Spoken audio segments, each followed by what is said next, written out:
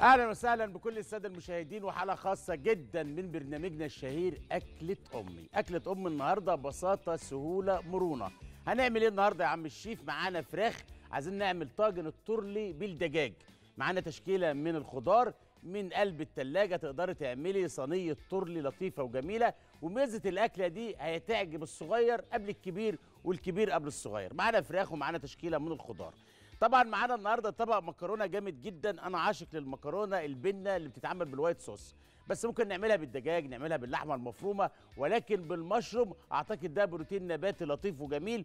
وفي البعض بيحب المشروم اللي عاملين healthy أو بيحبوا ياكلوا التغذية السليمة. المشروم آمن من ناحية البروتين بتاعه. فتعالوا نشوفوا نعملها مع بعض إزاي. معايا طبق سلطة لطيف النهارده بصراحة. قدوم الشتاء الخير بيجي معاه من الخضروات. معانا فجل ومعانا جرجير وفلفله وبصل. عايز أعمل طبق سلطة قيمته الغذائية عالية جدا بالجرجير والفجل. حاجة لطيفة وجميلة. الاتنين حوامض ولكن مع زيت الزيتون وعصير الليمون أكيد طعمهم هيختلف. أنا مش عايز أطول حضراتكم لأن عندي تفاصيل في الحلقة وفيها شوية شغل. بترضي الصغير قبل الكبير. خلينا ناخد بعضينا نطلع فاصل صغير وبعد الفاصل هنشوف معلومة غير معلومة مع تفاصيل صغيرة ولكن المعنى كبير والطعم جديد. اوعى تروحوا بعيد تابعوني. ورجعنا لحضراتكم بعد الفاصل. تعالوا نشوف مع بعض إزاي معانا فرخة لطيفة جميلة عايزة النهارده تتقدم بطريقة جديدة. معانا الترلي بالخضار. تشكيلة من الخضار انت وشطارتك. سبانخ ممكن كوسة جزر بسلة بطاطس مشروم. معانا فرخة ومعانا البصل ده أساسي والثوم كزبرة خضراء. ونشوف نعمل مع بعض إزاي. صينية ترلي أو طاجن الترلي بالفراخ. المقادير على الشاشة في متناول الجميع. ولكن الطعم ده طبعا معانا. تعالوا نشوفوا نعملها مع بعض إزاي. أول حاجة باخد الفرخة دي أقطعها تكفي العيلة. والقرايب والحبايب. آه يعني انت بتدمي فرخه سليمة حاجة وإنك تقطعيها طبعا دي حاجة تانية. خلي مهم جدا. وإحنا شغالين مع بعض أعلمك إزاي للأمانة يعني إنك أنت ما تقدريش تعتمدي على الراجل بتاع الفراخ أنت تقطعها في البيت. سهلة جدا خالص. أهم حاجة معاك سكينة صغيرة كده. بيسموها الجزارين طبعا الكزلك يعني. مش لازم تجيبي سكينة كبيرة وتقطعي الفرخة بالشكل ده كده أهو. ده أنا مش عايز. حلو الكلام وأنا واقف كده. الفراخ بعد ما تتقطع ما تتغسلش. فرخة تتغسل وهي سليمة. ده مهم جدا على فكرة. فرخة تتغسل وهي سليمة. اتقطعت ما انصحكيش تغسليها تغسليها. هتبقى زفرة. اوعى تفتكر انك لما تغسلي الفرخة بعد ما تقطعيها هتشيل الزفارة منها. لا خالص آه حلو. نمسكها كده بالشكل ده كده. أهم حاجة تشيل السلسلة زي الشعرة من العجينة كده. آه. وناخد النص ده. بنقطعه على إيه؟ أربع قطع. يعني يكفوا أربع منابات. ونيجي على الصدر ده كده. تمام. زي الفل يا عم الشيف. سهلة دي. مش محتاجه إنك توديها بقى للراجل بتاع الفراخ يقطعها لك. وسهلة خالص. مش محتاجة يعني الواحد يكون عنده قوة ولا عصب ولا أي حاجة خالص. أهم حاجة السكينة تمشي في المفاصل مظبوط. آه. بالشكل ده كده. وإزاي أعمل طاجن ترلي بالفراخ بطريقة جديدة. الفراخ عندي زي الفل هتبلها تتبيلة سريعة كده مع بعض. بسم الله الرحمن الرحيم. وأنت بتتبلي الفراخ دي تحط في الاعتبار. الطاجن الترلي يبقى محرمش شوية. اوعي تغسلي الفراخ بعد ما تقطعيها من فضلك. ما انصحكيش. فص توم حلو. والله الفرخة بقت في الصينية يا شفيق كأنها ديك رومي ربنا يبارك فيها. بسم الله ما شاء الله. وهي سليمة يعني ممكن نقول دي صغيرة. شوية الملح شوية التوم شوية البهارات الحلوين. معايا صينية على النار طاسه على النار جريل على النار حلة على النار بتسخن. دي أهم حاجة. درجة حرارتها تكون عالية جدا. ليه يا عم الشيف؟ علشان ادي للفراخ دي الصدمه. شفت التحميرة دي؟ فراخ اهي. الشكل ده كده. في الطاسة اللي معانا على النار. معانا فلفل زي ده كده. آه. طاجن تورلي يعني حاجة حرشة. مكوناته بتبقى حرشة. زي الفل. معنا الصينية. فيها زيت معلقتين صغيرين كده. عايز الفراخ دي تتحمر بسرعة عشان استفيد بالشوربة بتاعتها عشان الشوربة بتاعتها اللي هتدي للخضار طعم لأن أنا ما عنديش شوربة ضاني هنا ولا شوربة لحمة. آخد الفراخ زي ما هي كده. الله الله على الريحة الحلوة. هو ده. زفارة مين يا راجل يا طيب؟ آه. شفت إزاي التحميرة دي مطلوبة؟ تسلم إيدك يا عم الشيف وأنا شغال كده اخد الفلفل ده كده.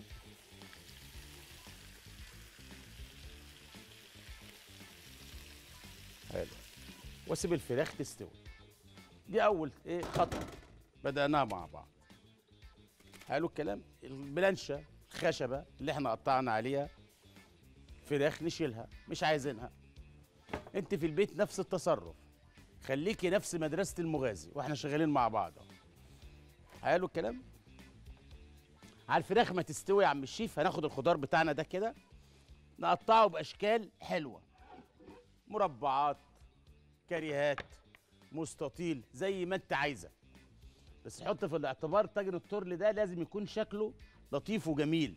لأنه إحنا قاعدين بناكل كده اللي عايز جزر بينقي الجزر اللي عايز كوسة بينقي الكوسة وهكذا. حلو الكلام؟ بسكينة تانية وبلانشة تانية. هنبدأ نقطع الخضار بتاعنا ده كده بطريقة إيه؟ بسيطة وسهلة. أنا ماشي مع حضرتك أهوت واحدة واحدة. الفراخ على النار. نعم. حاضر يا غالي. عايز نقلب الفراخ ونشوفها. عينيا. آمر. بسم الله الرحمن الرحيم. آه. شفت الحمار؟ شفت الجمال. أهم حاجة الطاسة تكون سخنة. إيه الحلاوة دي؟ إيه الجمال ده؟ مكعب الزبدة اللي أنا حطيته مع الزيت هو سر الإيه؟ اللون الأحمر ده اللون الأشقر ده. آه. الشكل ده كده. وأسيبها تاني على النار. تتحمر. مش هغطيها. أنا عايز البخار ده يطلع. حلو الكلام؟ آه. تاخد الخضار بتاعنا كوسة كده. مربعات كبيرة. كده. أنا بعشق الكوسة لما تكون مستوية. في مرق لحم في مرق خضار. الجزر يتقطع كده. بالشكل ده كده. آه وعلى فكرة آه، الخضروات بالذات فيها ألياف فيها قيمة غذائية عالية جدا. انت ممكن تاكل الخضار ومش لازم تاكلي فراخ. لو انت مالكيش مزاج للفراخ. الخضار خد من طعم الفراخ وخد البروتين وطعم البروتين. الخضار لما يتقطع سليم بالشكل ده كده بيمتص الشوربة بتاعت الفرخة أو اللحمة اللي انت بتعمليها وأصبح فيه إيه؟ بروتين. معانا الخضار زي الفل. معانا زيت هنا بيسخن. حلو الكلام. ناخد الخضار ده نحطه في قلب الزيت. الطرل كل حاجة بتتحمر لوحديها. ممكن تعمليه كله ني في ني بس للأمانة أنا بحبه يتحمر. بتحس إن الخضار له شخصية كده في قلب الإيه؟ الكسرولة أو في قلب الطاجن أو الفخارة اللي بتعملي فيها. هناخده كده زي ما هو. مخرجنا الجميل ينزل كده الخضار بتاعنا. الله على الحلاوة. أهو. حلو. يلا بينا دول كمان. نعمل صينية كده إيه؟ ممكن تقعد عندنا يومين في التلاجة. ناكل منها بألف هنا وشفا حلو؟ معانا بصل. زي ده كده حلو. معانا فلفل. أخضر وأحمر وأصفر. برضو نفس القصة. أهو بالشكل ده كده. والبصل يتقطع سليم. الفلفل الأخضر بتاعنا. بالشكل ده كده. نفس القصة. أهو. جيبي لك ساطور زي ده كده. كلمة ساطور بتخوف بس هيساعدك في تقطيع الخضار في البيت. ادي الخضار معانا جاهز كده زي الفل. الفراخ أخبارها إيه يا عم الشيف؟ هو ده. إيه الحلاوة دي؟ إيه الجمال ده؟ آه. شفت الفراخ لونها اتغير إزاي؟ السر. للأمانة معلقتين زبدة. آه آه. أنت بتروح مني فين؟ ده أنا حاطط لك فلفل ألوان وبتحب الألوان وبتحب التشكيل. آه. شفت؟ دي الفراخ. الخضار بيتحمر. نشيل دي من هنا كده عشان نوسع لمخرجنا والاسد زيتنا ناخد الكسرولة الحلوة دي كده. اللهم صل على النبي. الفلفل هنا أنا مش هحمره. بحطه هنا كده.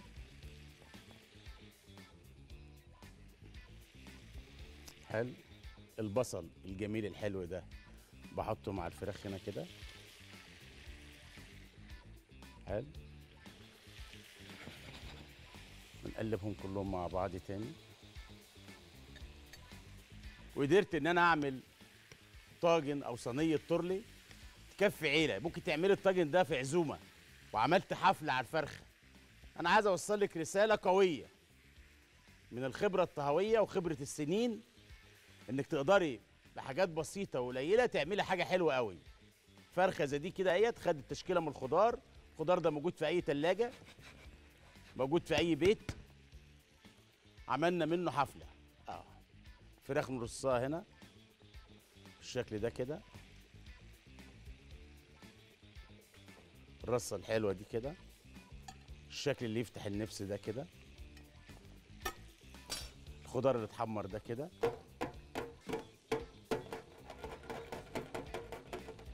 اللهم صل على النبي. ننزل بهنا كده. الله. شفت الشقاوة دي؟ دي شقاوة مطبخ. سموها شقاوة مطبخ. آه. أنا حطيت الخضار هنا ليه مع الفراخ؟ أو مع البقية بتاعت الفراخ عشان ياخد طعم الفراخ قبل ما أحطه في الصينية وأجمعهم كلهم مع بعضيهم. حلو الكلام؟ اللهم صل على النبي. ناخد كده. إيه الحلاوة دي يا شيخ؟ ده أنا بجيب الفرخة دي بقول تكفي مين ولا مين ولا مين. عملت لي عليها حفلة يا مغازي آه.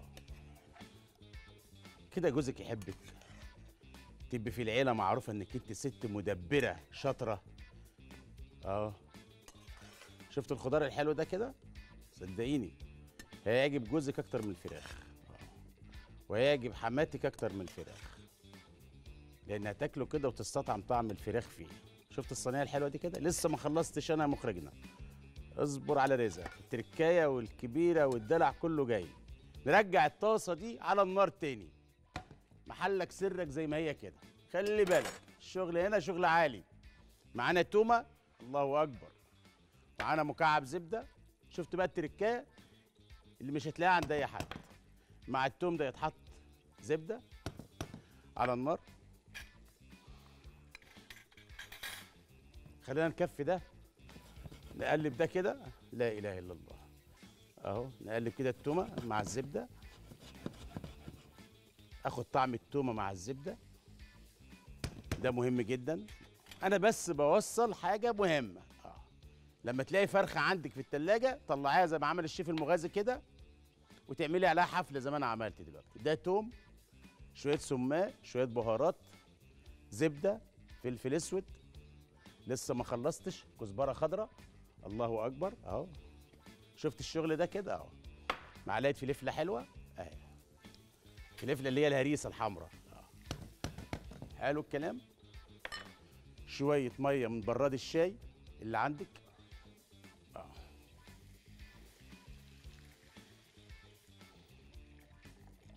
شوية ملح صغيرين عشان نعمل عملية توازن للطعم. وهناخد كل ده يا عم الشيف مغازي. بنحطه على الطاجن بتاعنا وندخله الفرن بالشكل ده كده. اللهم صل على النبي. هي دي التركاية. آه دي الطشة دي الخلطة. آه. الله وأدوب كده. آخد طعم الفراخ مكان التحمير الزبدة القوام الحلاوة الجمال. وأنا مش هدخلها الفرن يا مخرجنا إيه رأيك؟ عشان تدلعها كده وأنا طالع الفاصل تغازلها شوية نودعها. الطاجن ده لازم يتغطى طبعا بورق زبدة وبعد ورق الزبدة ورق فويل ويخش في قلب الفرن. صدقيني.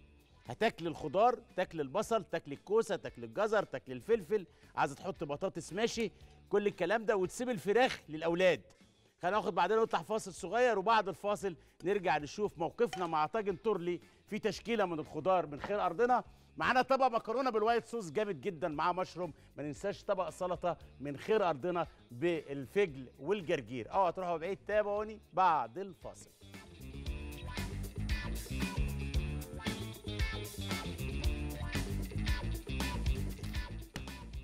ورجعنا لحضراتكم بعد الفاصل. تعالوا نشوفوا مع بعض إزاي اولادنا وأنا شخصيا والكبار بيحبوا انواع المكرونة اللي هي بأطعمة مختلفة. مكرونة بال white sauce مكرونة بال red sauce بال pink sauce حاجات الجميلة بال green sauce. هو ال green sauce يا عم الشيف؟ صلصة البيستو اللي هي ريحان مع لوز مع توم مع زيت زيتون بينضربوا في الكبة يبقى عندنا صلصة لونها أخضر. مع شوية مكرونة مسلوقين تبقى مكرونة بال green sauce. حلو الكلام. ممكن تستبدلي الريحان ببقدونس زي ما انت عايزة. بس هي جت الفكرة عشان أقولها. تعالوا نشوفوا مع بعض إزاي نعمل مكرونة بالوايت صوص مقاديرها على الشاشة. لا تتعدى للأمانة أصابع اليد العشرة. مشروم جبنة بارميزان مبشورة بديل لها جبنة رومي مبشورة مكرونة بنة معانا بصلة ناعمة فص توم ناعم قليل من الشبت كريمة لباني زبدة. حلو الكلام. تعالوا نشوفوا نعملها مع بعض إزاي. طبعا المكرونة ده أنا عاشق له وللمشروم بالذات لما بيبقى بيستوي مع ال white sauce بيبقى لطيف وجميل.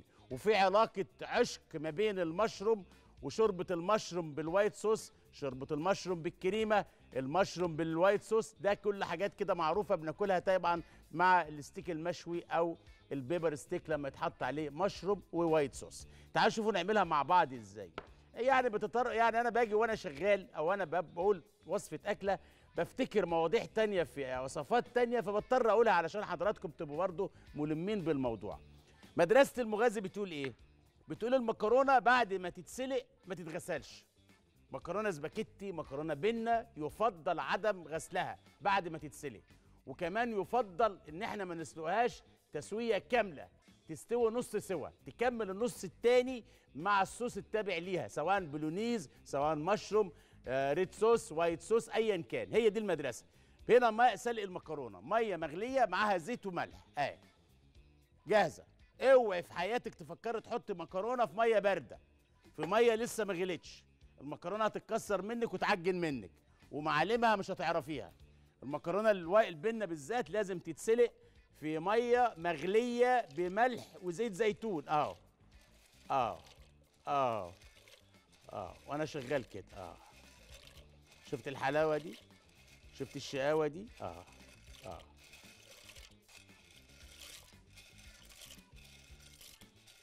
دول مش هحطهم في المية. مستني انت تنزلهم في المية. مش هحطهم في المية. هتحطهم فين يا عم الشيف؟ آه في قلب الزيت. إيه اللي بتعمله ده يا شيف؟ هو ده بقى. هي دي التركايه اللي أنا عايز أفاجئكم بيها. مكرونة بال white sauce. معانا مكرونة كده هتاخد لون في قلب ال white sauce. هتدي شكل جمالي. آه تفتكرها سجق بقى تفتكرها لحمة مفرومة. فكرة عمل الرز اللي هو حبة وحبة. آه مكرونة اتحمرت إزاي؟ وهي بتتحمر وبتتدلع. بنزل ببصلاية ناعمة. فص توم ناعم. تحميرة المكرونة في حد ذاتها مع البصلة والتومة فكرة برضو تحمير الشعرية وأنا بعملها شوربة. فبتدي طعم للفليفر بتاع الزيت وأنا شغال كده. آه. شفت بقى افتكاسة كانت في راسك دي؟ كانت على بالك دي؟ اتحداكي آه. انت مستنية لما أنزل المكرونة كلها في قلب المية حتى المخرج. آه مستني لآخر شوية مكرونة. اتفاجئ إن أنا نزلت بقية المكرونة في قلب الطاسة. بنزل بالزبدة دي وأحمر كده. آه. شفت المدرسة؟ آه شوفوا بقى اللي جاي بقى أحسن. طريقة التحمير المكرونة هنا مع البصلة والتومة وانزل بشوية مية عليهم عشان نكمل سوا. هيديني قوام للصوص. قوام الصوص ده أنا هعتمد عليه اعتماد كلي مع إضافة الكريمة اللباني وكده مش هحط لا نشا ولا دقيق. الله عليك يا عم الشيف اهو عايزة تستبدلي تحمير المكرونة ده بالنشا والدقيق؟ أهلا وسهلا. آه. التحميره دي مطلوبة. آه. شغال أهوت. عندي زعتر هنا. الله محظوظ. محظوظ يا مغازي. الزعتر البري ده يا اخوانا في مطبخك خليه دايما موجود. أهو. فريش ده لطيف آه باخد كده أهو. ده مهم خلي بالك جدا في المطبخ وخاصة المطبخ الطلياني روزماري وزعتر وزيت زيتون آه شفتي تفرق دي بقى في الطعم خلي بالك آه يمكن والله الحزمة دي مش مكملة ثلاثة تعريفة بس وجودها في المطبخ مهمة جدا. روزماري زعتر اوعى تحط العروق. اللي يجي تحت اسنان حماتك ولا مامتك تزعل منك وتقول لك ما تخشيش المطبخ تاني. لانك هتروح عند دكتور السنان تصرفي مبلغ وقدره. نتيجة إيه؟ عرق النعناع اللي حطيتيه في العصير. عرق الروزماري أو الزعتر اللي حطيتيه في أكلة. الدبوس اللي نسيتيه وانت بتفتحي الكيس بتاع المكسرات عشان تعملي فطاير. الحاجات اللي هي ممكن تعدينا دي وتفوتنا أهو شفت التحميره دي؟ مطلوبة أهي. حلو الكلام؟ حلو الكلام. هنبدأ نعمل إيه يا عم الشيف؟ عند المكرونة دي بتتسلق. تتسلق نص سوا. بقلبها كده في المية. والزيت والملح. عندي مشروم طازة. باخد المشروم أقطعه كده. التقطيعه دي مطلوبة اهي. حبات المشروم وهي سليمة. أو يتعانوا نصين كده. آه دي طريقة برضو آه نقطع المشروم إزاي؟ أهو. نجيب حبات المشروم زي ما هي كده ونقطعها نصين نبدأ نقطعها كده. دي مدرسة تقطيع المشروم. هو ملوش تقطيع غير كده. خلي بالك آه عشان نحافظ على المعالم بتاعته. عشان يبان إن ده مشروم. ناخد المشروم ده نسقطه على إيه؟ على المكرونة الحلوة دي. العب. طيب بسله آه شوية مكرونة أول مرة تاكليهم. يبقى أنا عملت المكرونة بالوايت صوص قبل كده مليون مرة بس المرة دي بطعم مختلف. وهعملها بكرة بطعم مختلف. وبعد بكرة بطعم مختلف. وبعد بعد بكرة بطعم مختلف. وأنا شغال. ده حب للمطبخ. عشق للمطبخ. هوايتك للمطبخ. حابة إنك تخش المطبخ تبدعي تألفي تفكري. محمر المشروم مع الافتكاسة بتاعت الشيف المكرونة اللي حمرها البصلة اللي حمرها الحلاوة والجمال ده كده وأنا شغالة. آه. إيه ده يا شيف؟ إيه الجمال ده؟ إيه الحلاوة دي؟ آه. حلو. عندي ماء سلق المكرونة. اللهم صل على يلا مخرجنا. هو ده. هو ده. يلا بينا. اللهم صل على النبي. شفت الشقاوة؟ واسيب دول ياخدوا غلوة تكون المكرونة بتاعتي اللي في الحلة أو اللي في المصفى حلت. يعني إيه حلت؟ يعني خدت نص سوا. آه. بهاراتنا هنا فلفل أسود ملح. ونقلب التقليبة دي تاني.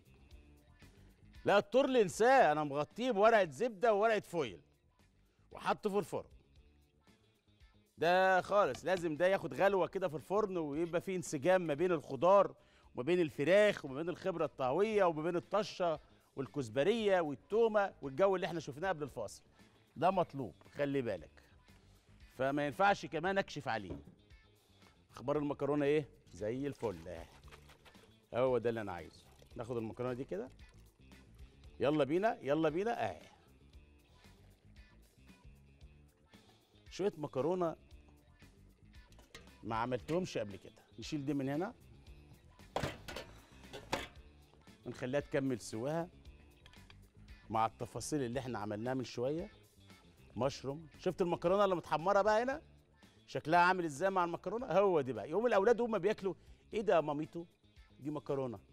وايه البيضة دي يا ماميتو؟ دي مكرونة. طب دي حمرا ليه يا ماميتو؟ والله أنا فتحت التلفزيون النهارده القناة الأولى شفت الشيف المغازي حمر شوية مكرونة 20 30 واحدة كده. واداهم لون حطهم في قلب ال white sauce. آه. ده نتفرج عليها دي لما تاخد كريمة لباني دلوقتي. آه. هنلاقي شكلها اختلف تماما. آه. شفت الحلاوة؟ شفت الجمال؟ ولا فراخ ولا لحم ولا. أنا اعتمدت على المشروم والمشروم مصدر غني جدا للبروتين النباتي. يتحدى الخرفان ويتعدى لحوم الكندوز والضاني وكل حاجة. آه.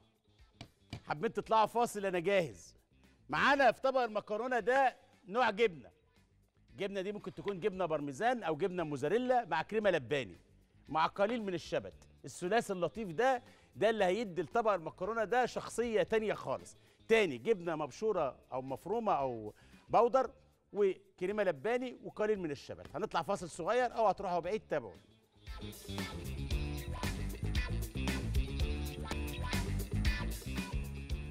ورجعنا لحضراتكم بعد الفاصل. مخرجنا من الفاصل الأولاني عايز يشوف فين الطور اللي راح. بص يا غالي أنا مش حرمك من حاجة. آه. بص أطلعها فين بعد كده يعني؟ أجي بقى عندك في الكنترول.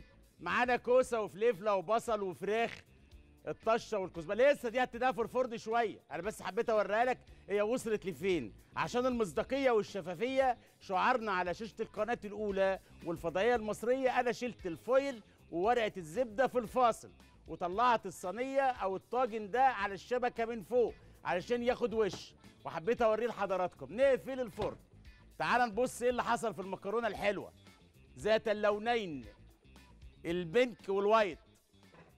الله لسه التركاية. لسه التركاية الحلوة. كريمة لباني. حطيت عليها شوية حليب. عشان عايز للمكرونة دي قوام.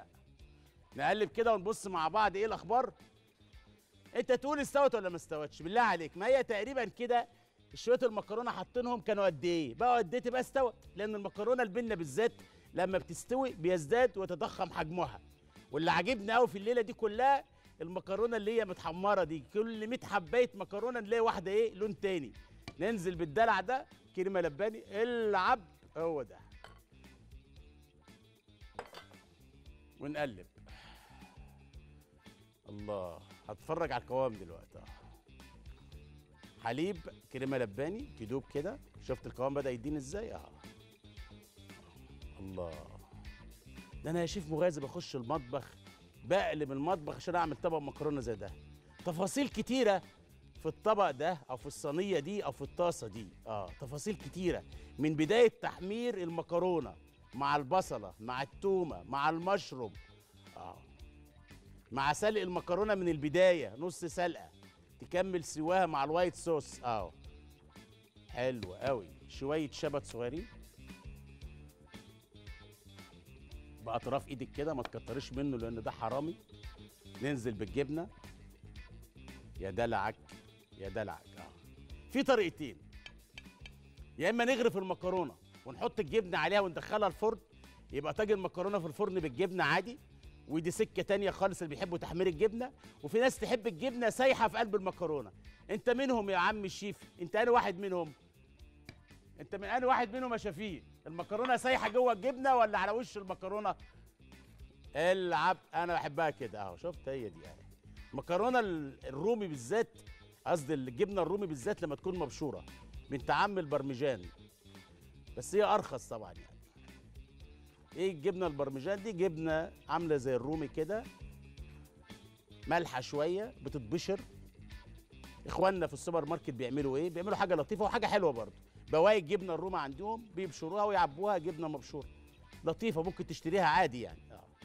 مش وحشة لطيفة وزي الفل. نغرف المكرونة دي ألف هنا وشفا اللي ياكل منها. آه.